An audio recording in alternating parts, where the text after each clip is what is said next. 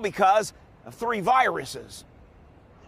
It's a viral horse race with three familiar names, all a sure bet to make an impact. Some people have kind of called it a potential uh, trifecta as far as with the COVID, the flu, and the RSV.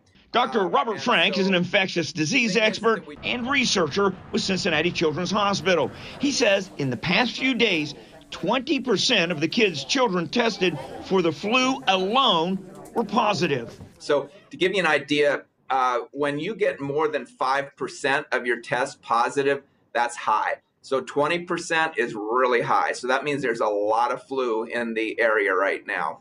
Across Ohio, the positivity rate for RSV is 23% and COVID is 8%. Some patients are reporting emergency room waits that take all day. So the effect is that our hospitals are getting hit pretty hard with all three diseases right now. So, and we know that all three diseases are moving on an upward trajectory. Tiffany Mattingly is with the Health Collaborative. She says there are still a lot of unknowns. I think the question is what is going to be the magnitude of each one of those? How sick are people going to get, and how is that going to affect the hospital operations? Doctors and hospitals are recommending vaccines for the flu and COVID. There is no vaccine for RSV, but four studies at Children's are researching it, and that could get approval as early as next year. As we all jockey our way through a trifection infection.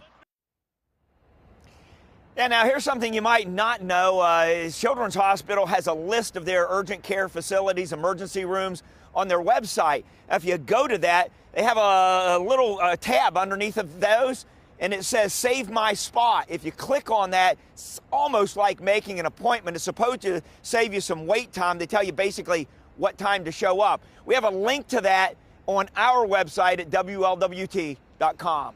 Reporting live, Brian Hamrick, WLWT News 5. Uh, Brian, thanks for the warning there. Emergency room.